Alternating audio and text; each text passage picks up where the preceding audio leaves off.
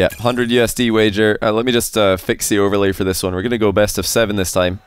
For Mawkzy versus AJ, who had a bit of trash talk, a little bit of friendly banter for each other on Twitter about this. AJ says he used this car before Metza. Oh, so AJ's got he's got smoke for everybody. He's coming at Metsanauris for uh, you know stealing his car pick. He wants all the cars. He's played Octane today, and then he played Batmobile, and then he played whatever this is called. I can't even remember. I'm going to be completely honest, I can't remember the name of this thing. Um, but just to keep you guys up to date with what's been going on in the EU 1v1 uh, ranked ladder recently, uh, AJ got rank 1 just the other day. Okay, bit of an open net miss there from Mawkzy. He almost uh, wrapped himself around it, but he's going to wave goodbye to his lead, I think. Oh, never mind. AJ's missed it as well. Mawkzy slaps it from long. Hold on, I'll tell you guys the one story in a second as we settle down. Okay, there we go. No open nets for either player. Um, so yeah, AJ got rank 1 by beating Khaled a couple of times. Obviously, he beat a bunch of other people as well to climb up, but his last two wins were against Khaled.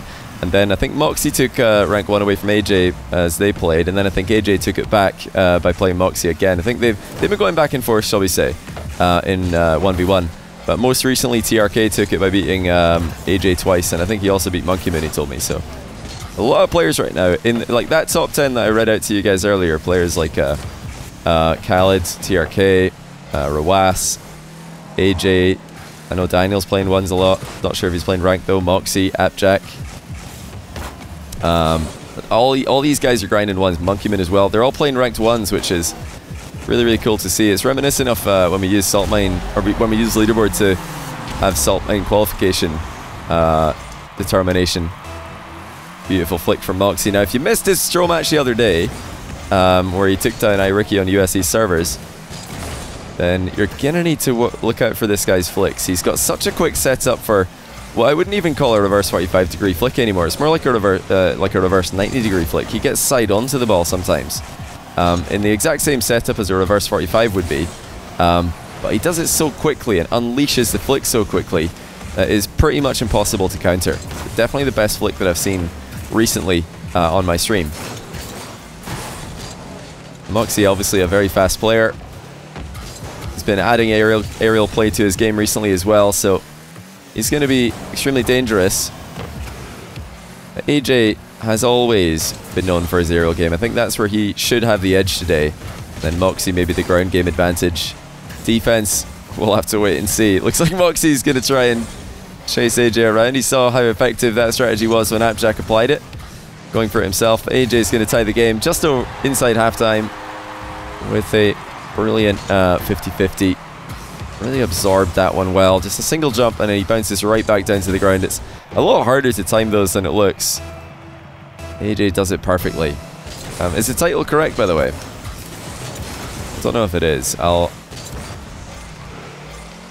I'll just change it in case it wasn't updated. Simon68 and King P187, thanks to the brand new primes. A big tug from AJ Mawkzy, not able to get any side onto the save.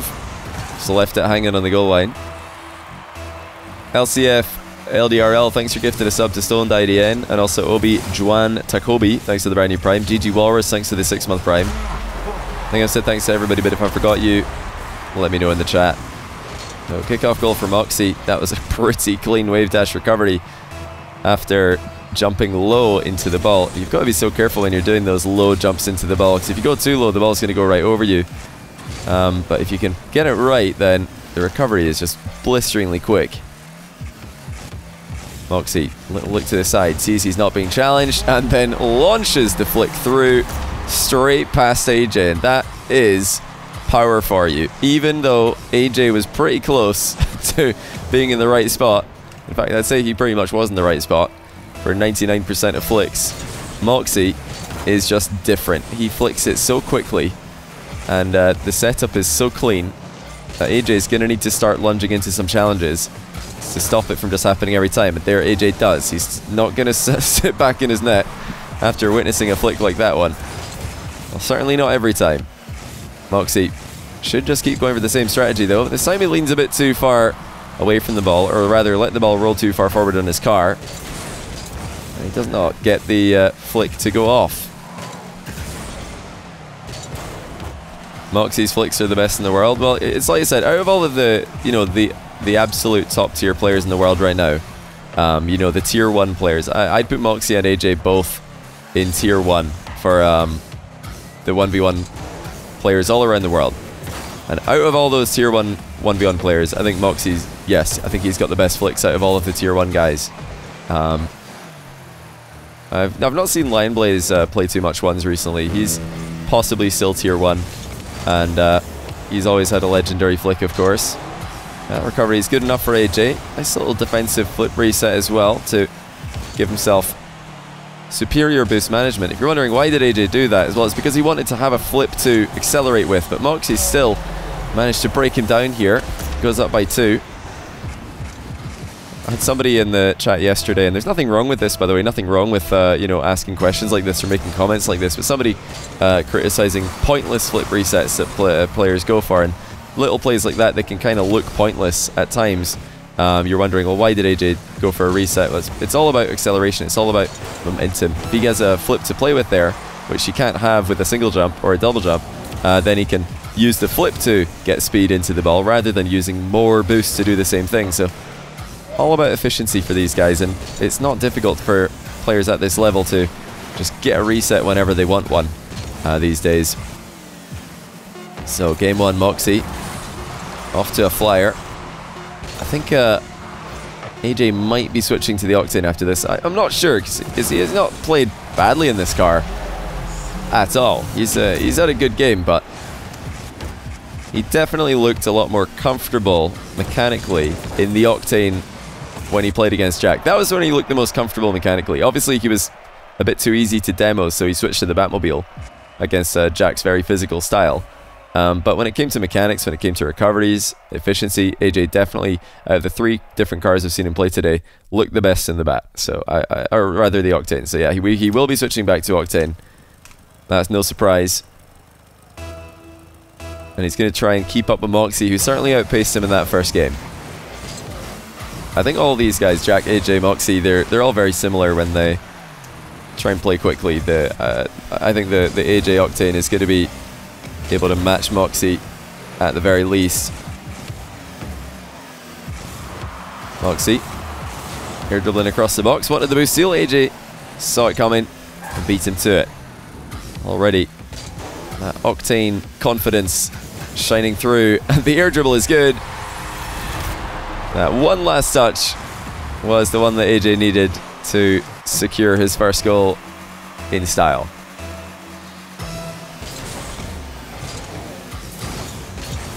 Just a quick note, by the way, I'm going to be streaming again tomorrow, and I'm going to be trying to... Oh, wow, what placement from Mawkzy. Well played. Did not waste any time on the setup either. Um, like I was saying, I'm going to try and stream more show matches tomorrow and also Monday. Um, after that, I think all of the top ones players who are currently grinding 1v1 on the EU server will be in Saudi Arabia for the uh, for the KSA LAN that's coming up. So at that point, show matches between the very top tier players will probably come to an end. I think um, there will probably still be a couple of top tier players in the in, in and around, but definitely we won't have the same amount of options to, to pick between.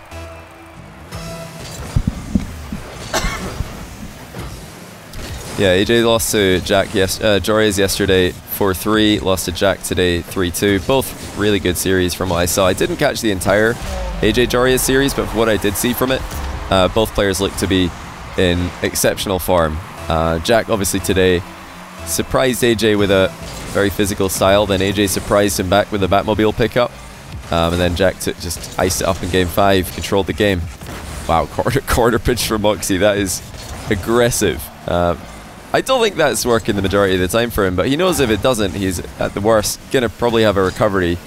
If AJ just walks around him, Mawkzy try to sneak up behind the ball here for a challenge. You can notice he's trying he's trying to get goal uh, not goal side, he's trying to get opposite AJ so that he can challenge. But AJ just saw that coming a mile away, walks the ball around him and into the net. Uh, did I see Noah's tweet? Yeah, I saw Noah's tweet. I saw Rise tweet. Uh, you know, quick thing to, or I guess quick mention on the whole topic of the KSA LAN. Um, oh my goodness, what a flick. Mawkzy, let me chat for a second here. Can you calm down? Can you just give me a moment? That's unreal. Um, yeah, uh, just on the topic of the KSA LAN, I'm sure there's going to be lots of uh, people giving, you know, opinions on uh, every aspect of it. Um, but I'll only be answering questions re related to the KSA LAN, the uh, Gamers 8 LAN that's coming up, that are Rocket League related. I'm not going to be talking about any other subject. Um, I don't think there's really anything good that can come from that for me or for any of us um, to talk about anything other than Rocket League in this context on social media. So uh, if you've got Rocket League related questions about that, I'll be happy to answer them. Um, but for everything else, I'll just be not answering any questions because, yeah, you know, I, I, I think it's people can say whatever they want. I respect the uh, respect all the opinions and respect all the uh, takes that are thrown around. Well, that, maybe I shouldn't say all. There's definitely been some dumb ones, but you know, I, I respect uh, Noah Rise Moist a lot. Just to be specific, uh, but I'm not going to be talking in any detail about uh, those tweets.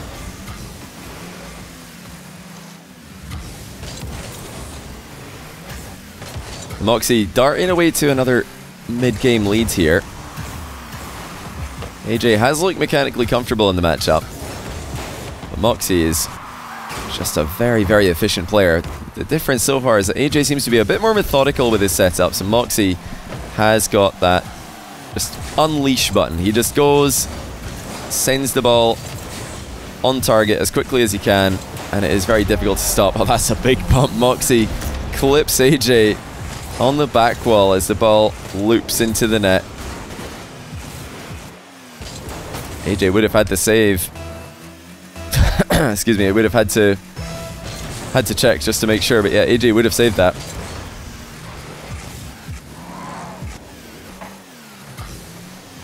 Remember this is a best of seven, but AJ will need to figure out pretty quickly how he can counter Mawkzy, because although he's looked comfortable in his own car, he does not look comfortable dealing with what Mawkzy's throwing at him. This rapid pace of offense, this complete uh, disregard for AJ is proven to be quite difficult to beat.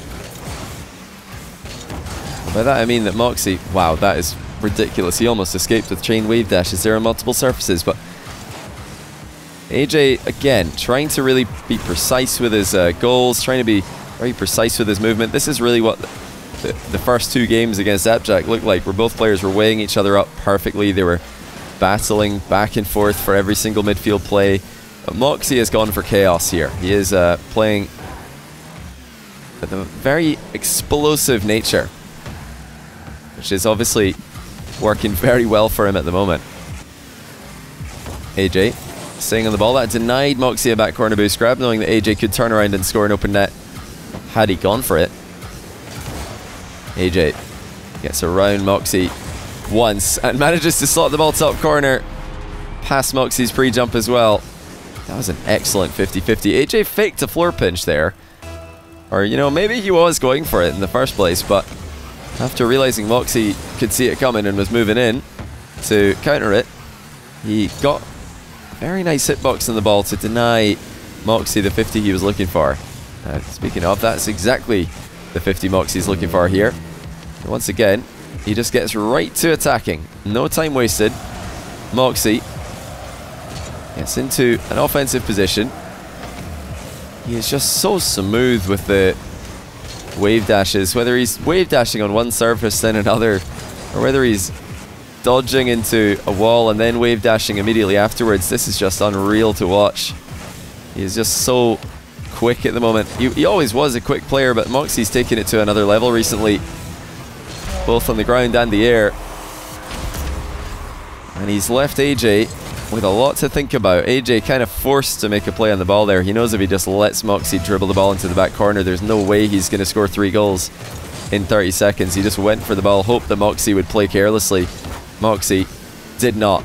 Now AJ trying for a placement shot. He gets it with a gorgeous touch.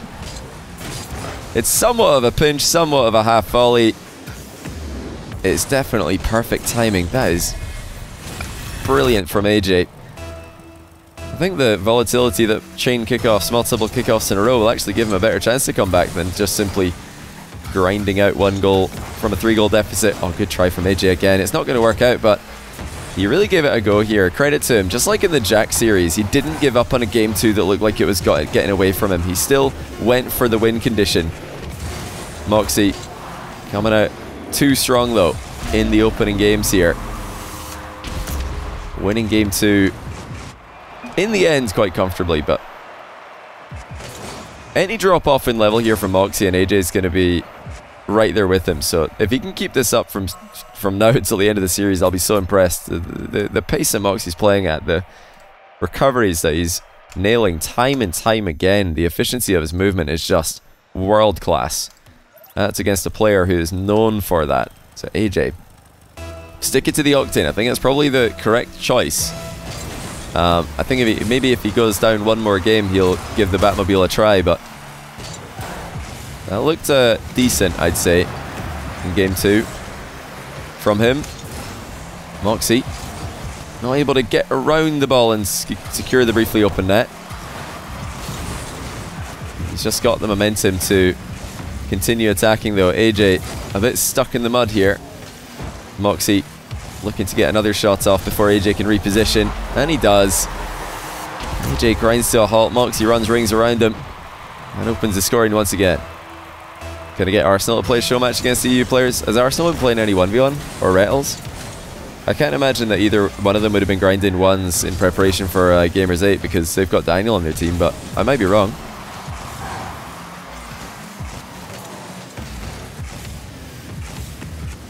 Is this NA's elite? I mean, AJ's looked very competitive. Like, yeah, he's lost to Joreuz and Jack and he's losing to Mawkzy, but these are the top three players in EU. Like, let's not get confused here. That is the that is the top three from Europe. If you're going to pick three players right now who are the best in Europe in 1v1, it would be those three. And, uh, you know, you got players like Luis, Raziers, Monkey Moon maybe, um, next in line, but he's taken on the big three between yesterday and today. Uh, Arsenal would rage quit. That's fair enough. That is fair enough.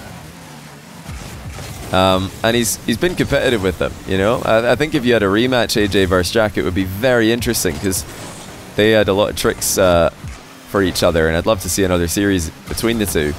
As for Joreuz and AJ, I mean, Joreuz is just somebody. He's a really unique player. He doesn't practice much Rocket League. He doesn't play 1v1 ever but he still, every time he shows up in a 1v1 event or a 1v1 show match, has the potential to go toe to toe with anyone in the world. But one thing I can tell you without a shadow of a doubt is that having low hours in Rocket League, having, you know, low hours past two, um, although a lot of pros think that makes them cool and uh, makes uh, makes them think that girls are going to like them more, uh, you know, that's up for debate.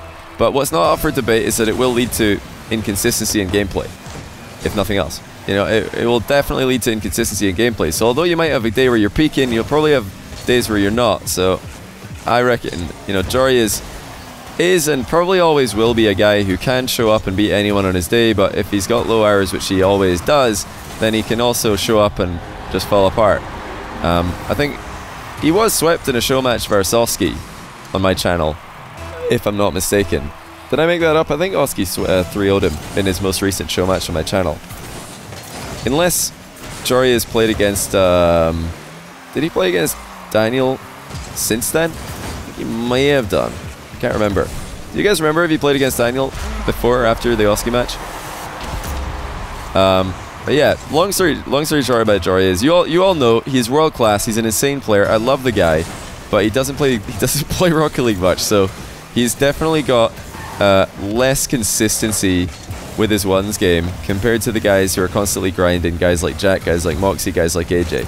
So if they rematch, could go either way. If AJ Jory's rematch could go either way. Jack AJ rematch could go either way. Um, I'd say the same thing about this, even if it goes 4-0. You know, that's just the way it is with uh, the top level ones players. Always has been, always will be. You know, these guys are so, so close in skill. Really just comes down to who's feeling it on the day, who can come up with a better winning strategy. Right now it appears to be Mawkzy. It's a long series though, and AJ's fighting hard for game three. Oh wow, what a challenge by Mawkzy. AJ had more momentum. He stayed pretty low on this one as well. We're going to watch it again. Look how look how low AJ is. He hits the middle of the ball, but Mawkzy just deflects it low. It wasn't just about the hitbox there for Mawkzy. It was about the timing of his hit. He let AJ hit the ball into him, uh, and he pretty much didn't 50-50. He just blocked. He's out of position after the kickoff. AJ ties. Yeah, you know, all that explanation is just to say that I think AJ's up there in the very top tier. I put both these guys tier 1. I put Joreuz Appjack tier 1. I put players like Khaled, TRK, Roas tier 1. KV1's tier 1. Firstkiller and Daniel. They're all tier 1 1v1 players. That's my top 10 in no particular order. Um, because they've shown consistency. They've shown results in tournaments, show matches. Some of them for years. Some of them recently. Uh, you know, the tier two is not far off tier one. There's a you know more players in, in tier two who are able to take games, able to take series off tier one. Here comes AJ again. Slow setup. Mawkzy's been forced into some heroic saves here before chasing AJ up the back wall. Sidewall, I say, with a demo attempt, but that was an overextension. AJ air dribbles over him and ducks the ball into the net. Mawkzy went completely all in for the demo there. Didn't get it. Used all his boost to do so. And AJ was able to air dribble past him. Make a tier list. Maybe I should make a tier list. But I, I mean, I could tell you pretty much. I've, I've seen enough 1v1 recently to know pretty well who my tier 2 is. I mean, for North America, I'd put my tier 2 as Evo. He's the very, very top of tier 2. Uh, then you've also got Lionblaze, Chronic, um, South America, you've got to say Reysbull right now. I think he's established himself as tier 2. Um, although, you know, is he NA? Well, I, am putting him in Sam for 1v1. Um, but yeah, NA, Sam, whatever. Reysbull's in there. Uh, EU, like I said, you got Raziers, Luis, Monkey Moon. In um, Middle East, you've got Fahad. You've got Naupo. And there's got to be another Middle East player in there as well. Well, I'm not sure who I would who I would put. Maybe Wisty's tier two. It's hard to say though. He's not had as many show matches uh, as the other guys. Ahmad, I don't think Ahmad's playing uh, enough 1v1 recently. Not sure if he's playing enough ones to be in there. Yeah, Clears has definitely played a fair bit. Yeah, I, I, you know, that that's like roughly the list. That's like, if I'm putting 10 players tier 1, 10 tier 2, it's kind of like that. That's the names I'd say off the top of my head. I might have missed someone, but I think that's mostly who you're looking at right now. Roas tier 1, bro. Tier 1. Roas ridiculous. Yeah, back to the present. AJ hunting a late game lead, and he gets it. Mawkzy denied the 50-50 he was looking for. Denied the big clear he was looking for. He actually tried to get the ball over or the top of AJ. He would have loved to have a 50-50 in the back corner. AJ just sat back, didn't give it to him. Mawkzy will come away with the ball. And he's got AJ a bit out of position here. Oh, good demo. AJ just manages to get supersonic and take Mawkzy out of the game. That was very small margin for error on that one. How fast is Mawkzy's recovery? He has to do it in reverse. Has to wait for the ball to come to him. AJ sticks on it, but Mawkzy gets the center. Unreal zero second goal for Mawkzy. He needed to play this one perfectly. He had to manipulate that final 50-50 in his favour. Get it to bounce into the middle while keeping all of his momentum so he could catch up to it. And now he's given AJ some real trouble. On the verge of going up three games to zero in the best of seven. And he might with that demo in the back corner. How's his recovery? Oh, AJ spawns right in the way of the ball. That was a brilliant, genius decision by AJ. Mawkzy's going to fling himself in. Try and catch AJ off guard. He does with another demo. I think AJ might be able to defend this. Yes, he will. Mawkzy with the boost seal has AJ under immense pressure. Boost does not spawn for AJ, but look at AJ's boost management. He's actually wasted almost none in all of this defensive duty, but he gives the ball away, doesn't get a 50, doesn't get a clear, and Mawkzy wins. He just had all the momentum, and he did not care at all. He's throwing himself in aggressively, time and time again, and AJ is just not ready for that level of aggression. He's waiting for a moment to breathe. He's waiting for Mawkzy to fake a challenge. And it's just not happening. GG's so far, but not GG's overall. We're in a best of seven here. Did AJ beat Jack? No, AJ lost uh, game five to Jack. He that was a really interesting series though, Rattles, because game number one and two, it was an Octane mirror match, and Jack they, they were completely evenly matched except for one thing, and that was Jack's like bumping and demoing. He just like bumped the the living daylights out of AJ. So AJ switched to Batmobile, and then he won two games in a row because he was just uh you know harder to bump. So it looked like AJ might reverse sweep, but Jack uh, figured out a way to beat the bat in game five. So very interesting series between those two. This one's been just Mawkzy's aggression. I think both players are evenly matched mechanically. AJ with an edge in the air, Mawkzy with an edge on the ground, but the aggression of Mawkzy is just catching AJ off guard time and time again. He just goes, and AJ's not ready for him. He's not able to absorb Mawkzy's challenges. He's not able to counter Mawkzy's challenges often enough to stop Mawkzy from going for them. And, you know, if, if he's going to stop Moxie from playing like this, he's got to punish these lunging challenges. He's got to, you know, force Mawkzy to bounce off the ball more often. But it's just not happening. Mawkzy catches AJ off his goal line as he seeks to sweep in the 1v1 wager.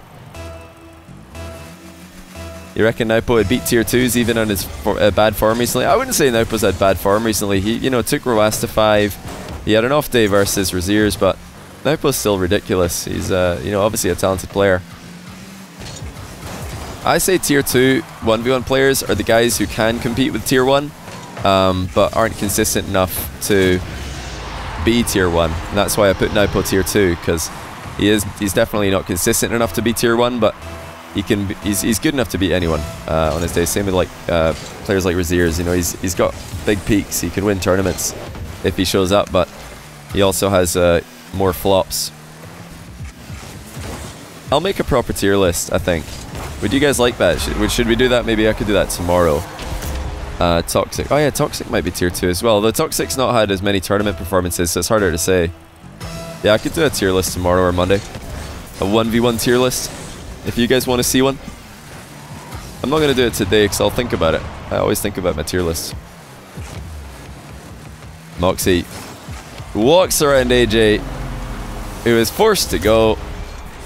You're wondering why does AJ dive here, I'm sorry to show again AJ, but what you've done is the, the correct play. But the reason AJ goes is because he's worried about Mawkzy driving ahead of the ball and demoing him. If he just sits on the goal line and waits, uh, there's always a chance Mawkzy goes ahead of the ball and demos him just like Appjack did in two games in a row in the previous show match of the day. Oh my goodness, Mawkzy's flicks, man. He is just the best.